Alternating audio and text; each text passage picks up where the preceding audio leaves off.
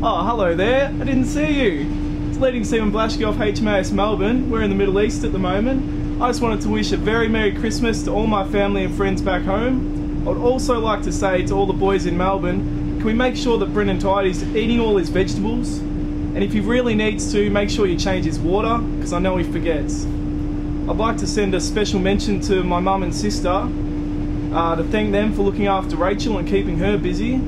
And I'd like to say to Rachel, I love you very much. I can't wait to come home and see you. And I hope the dumb dog isn't eating all my shirts.